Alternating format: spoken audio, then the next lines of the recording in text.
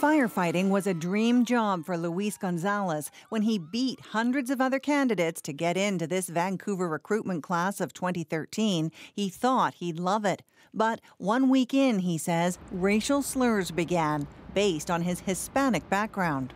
I've worked in other fire services and it was it was not like this, you know, a lot of it was to do, I believe, due to my race. Gonzalez says training officers and his captain constantly harassed him, dismissed him as the Mexican.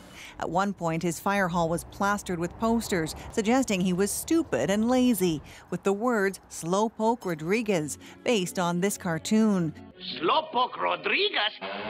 Featuring the slowest mouse in all of Mexico. Gonzalez, who was actually born in El Salvador, started dreading work, started drinking, went to counseling. I remember flashbacks of the stuff that I went through, and it just angers me, It's plain and simple. I should have stood up for myself more. Gonzalez says senior members of his crew also told anti Asian and Indo Canadian jokes. He finally quit and filed a complaint with the city of Vancouver. That's clearly unacceptable.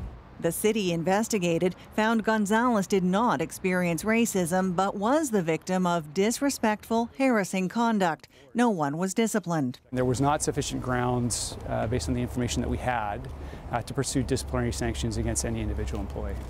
The city doesn't keep track of the number of visible minorities hired by the fire department, but Gonzalez's class was far from the first of predominantly white male recruits.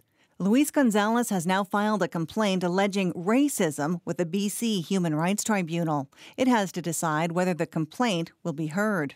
The Vancouver Fire Department says the complaint is not in the public interest. Meantime, we've heard from firefighters in other cities who say they too have faced racial discrimination. Erica Johnson, CBC News, Vancouver.